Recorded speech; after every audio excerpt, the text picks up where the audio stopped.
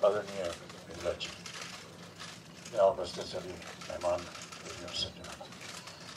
मृदुला जी का एक, संदेश आया टेलीफोन पे, और उन्होंने आग्रह किया कि आज के इस कार्यक्रम का मैं उद्घाटन करूँ।